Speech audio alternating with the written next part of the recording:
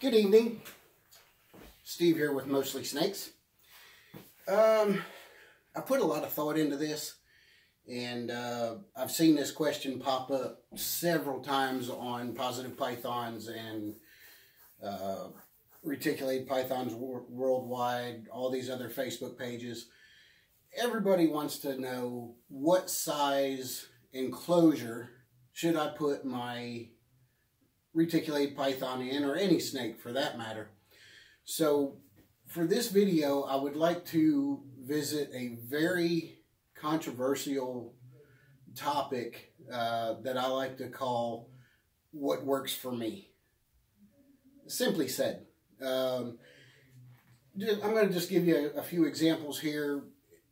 Don't overthink this uh, this hobby. A lot of people overthink it. Uh, they they just read too far into it and they, they come up with some really weird conclusions. And of course, everybody on Facebook, uh, the phrase armchair expert, everybody's going to have their own opinion.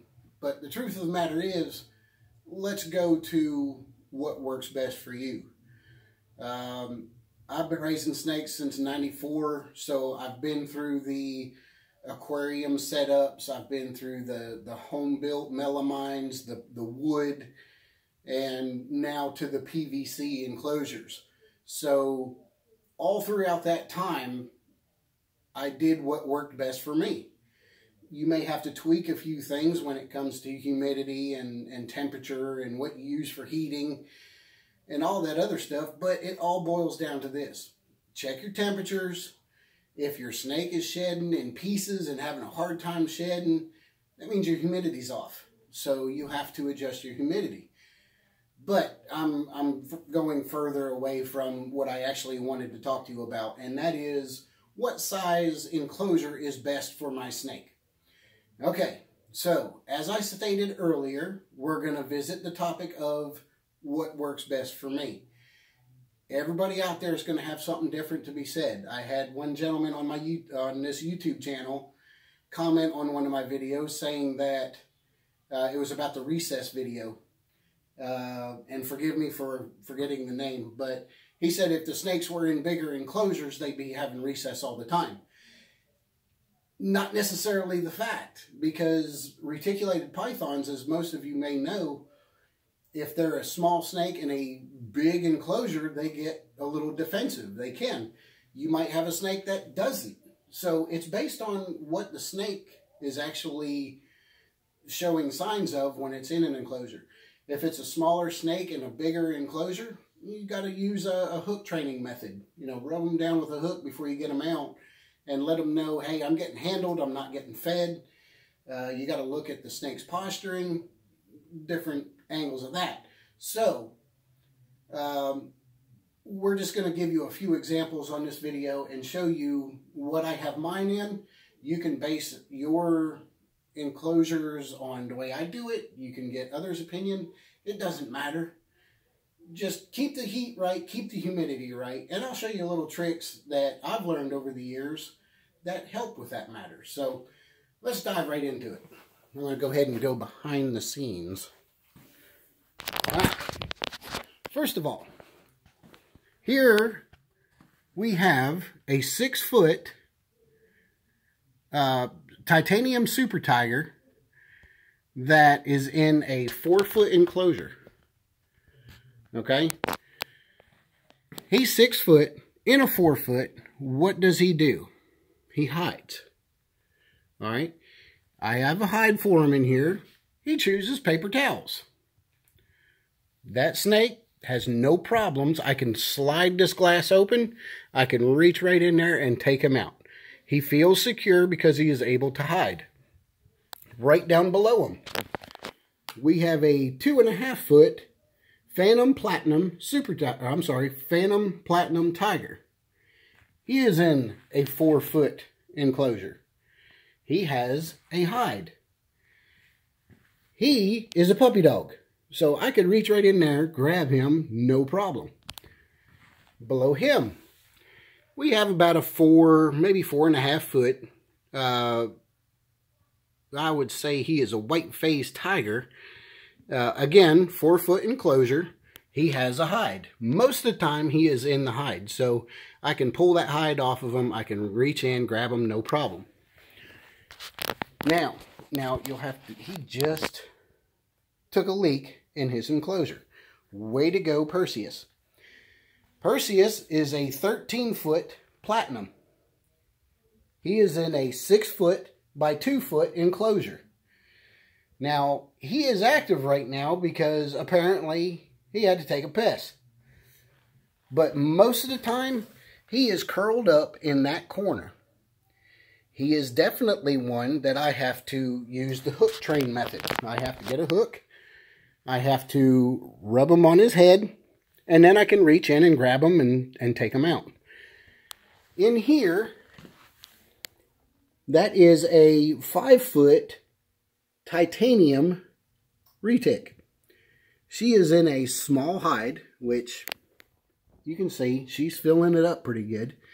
Again, four foot enclosure. She has a hide right there. Okay? She feels secure. She is another one. I could reach right in, grab her, no problem. All right, we've seen enough of that. Here is a nine foot genetic stripe. She is in a six foot enclosure. All right, she does not like this six foot enclosure. This girl right here does really well in this. This is a FB90 uh, um, tub. She does really well by getting right in this corner, coiling up on the heat source, and that's where she normally stayed. When I opened the drawer, she would have a great feeding response, and that's all it was. She'd come out thinking she was getting food. By the way, is that not a great looking poster? Oh. Anyway, I digress. Right, so she does really good in the tub, right? I put her in there because I had an issue with the tubs. I needed to get them cleaned out. I had a few mites getting uh, getting caught up in them, so I took that outside and totally hosed it down. But I've kept her in there. Now, right above her is about a nine foot platinum female in a four foot enclosure. You can see that Giselle's, the genetic stripe, is two foot longer than the platinums.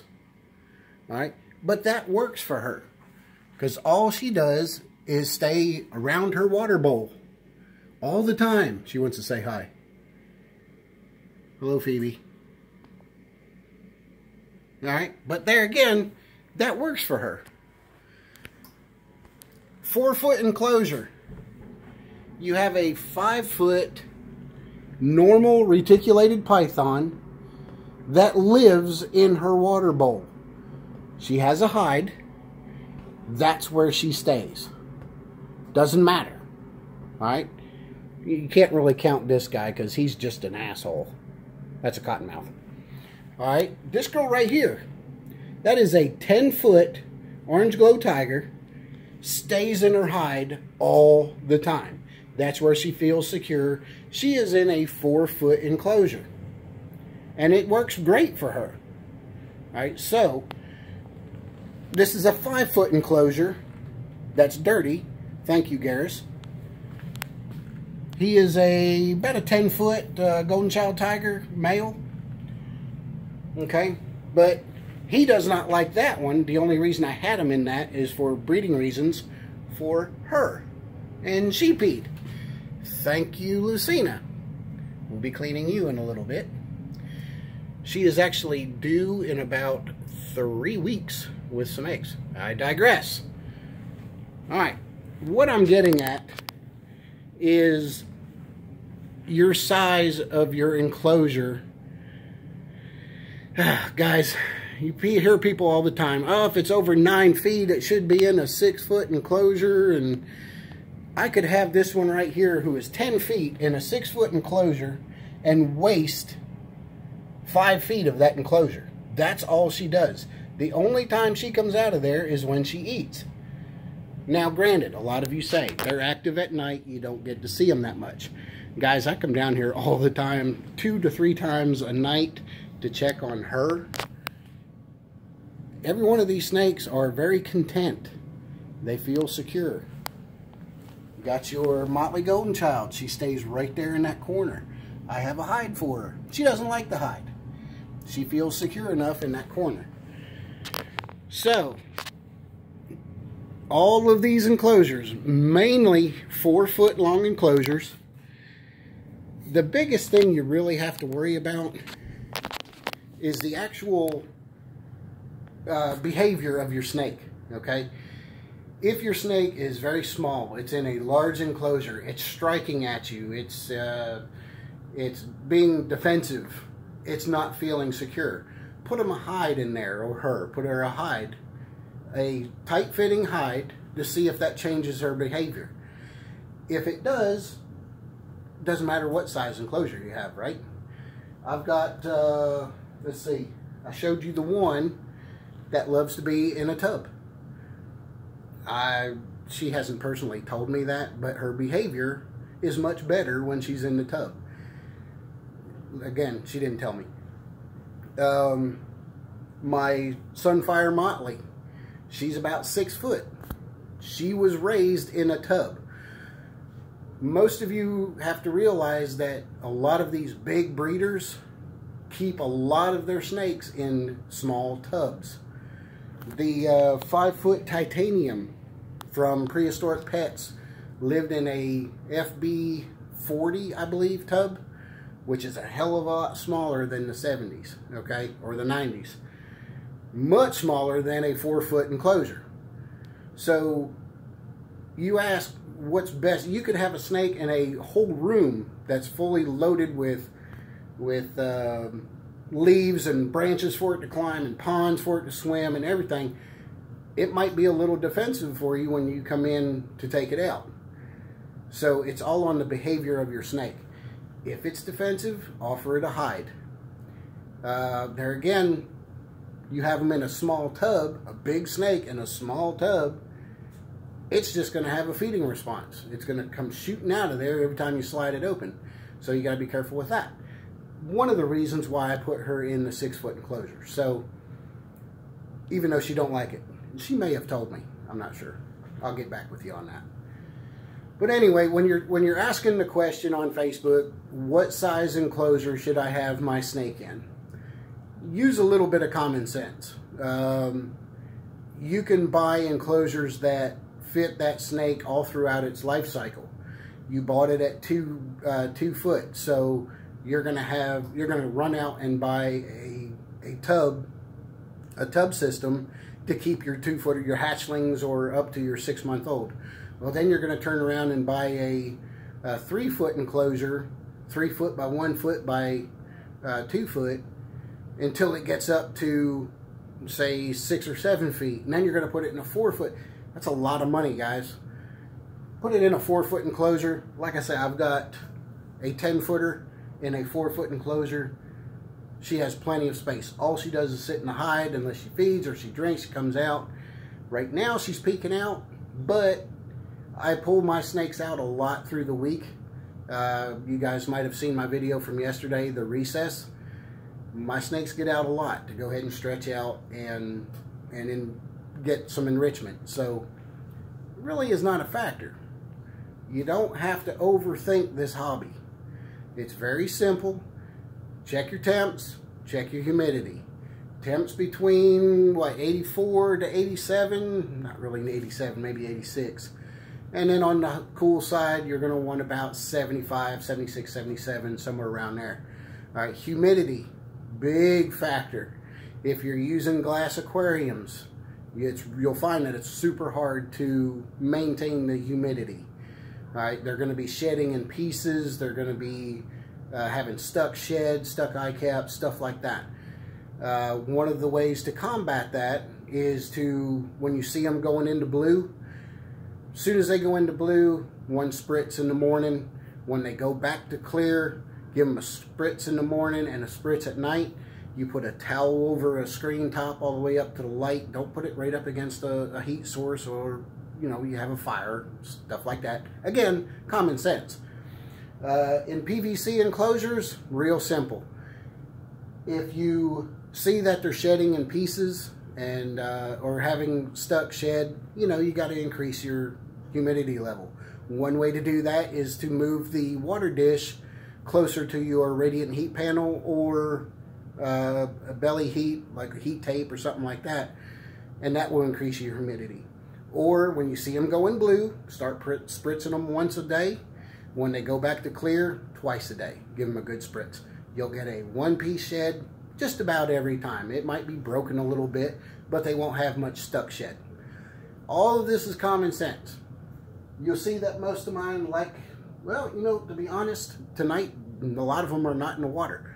A lot of them like to be in the water. That's how they regulate their humidity at times. That's how they regulate their temperature. So a snake, give them a little bit of credit. They're going to do what they need to do as well. Make sure you clean their water out uh, on a regular basis. I do mine about every two to three days. There again, another controversial subject we can talk about. Hmm, can you guess what it is? Tap water or bottled water or distilled water? Which do you give your snakes? Is it safe to give them distilled water? Should you buy uh, bottled water for your snakes? Can I use the water straight out of the tap? 24 years, guys, I've been using water out of the tap. I haven't lost but one snake due to impaction. Had nothing to do with the water. So, tap water is probably okay. Uh, I've had snakes for a long period of time that showed no signs of any kind of harm due to uh, tap water. If I can drink it, I have a feeling they'll survive. Um, there again, controversial topic. What works for me? I don't know. If you guys live in Detroit, if you're drinking bottled water, yeah, give your give your snakes bottled water too. Uh, and I don't mean to single you guys out. I just know Detroit has a really bad problem with water. Uh, that's pretty much known everywhere. So, not being a jerk. Um, anyway, getting back to uh, temperatures and heat and stuff like that, humidity. If your snake's shedding in pieces, spritz them when they go into blue. Spritz them twice when they go clear you'll have much better sheds. Enclosures. If the snake can get around, keep in mind, again, these breeders will keep these snakes in tiny tubs, most of them throughout their entire lives. A full-grown reticulated python, you're talking anywhere from 13 to 12, uh, 13 to 18 feet, will do perfectly fine in an 8-foot enclosure. All right, these snakes are not as difficult as what a lot of people uh, portray.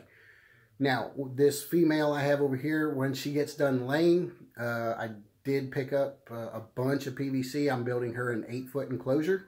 That will be the last size that I build for her. She has been in 5-foot, 6-foot, all the way up to this point. Now she's going to get an 8-foot enclosure, and that is just to make her just that much more comfortable more than likely she's going to pick a corner and she's going to stay right there. So take it for what it's worth. But the key is to not overthink this hobby, guys.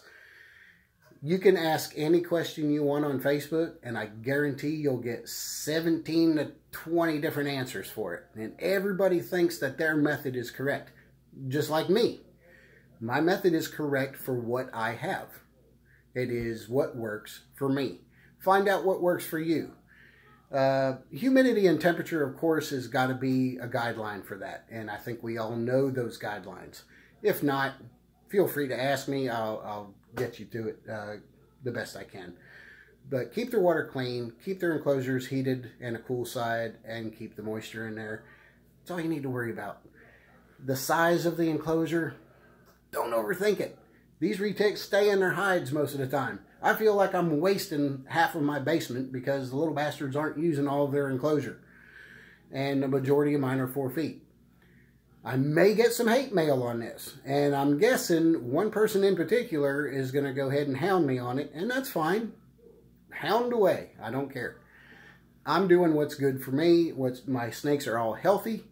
Uh, anybody that knows me, that knows my snakes, they know that I have very healthy snakes. So take that for what it's worth. I hope this video was helpful for you. I hope you got something out of it. I hope that you saw my really cool banners. Can you see that? Oh, man. Love it. Coming to an expo to you soon. We're going to have some uh, hatchlings, hopefully, uh, coming up this spring. And um, looking forward to everything coming up in the next year or two. I do have several projects in store for next season, so it's only going to get better. And you know why it's only going to get better? Because I'm doing what works best for me. And that's exactly what you guys should be doing. So if you have any questions, any comments, feel free to leave them in the comments below. I appreciate you watching. I appreciate all the stuff you guys done for my channel in supporting, whether hitting the like button or hitting subscribe. If you have any uh, suggestions at what you want to see next, give me a shout. Peace out. Wow, such a nice banner. Look at Perseus. He's the boss. Have a good weekend, guys.